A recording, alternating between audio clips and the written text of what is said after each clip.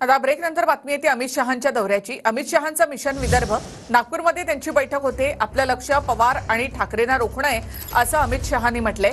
विदर्भामध्ये भाजप जिंकली म्हणजे महाराष्ट्र जिंकला असं अमित शहा यांनी म्हटलंय.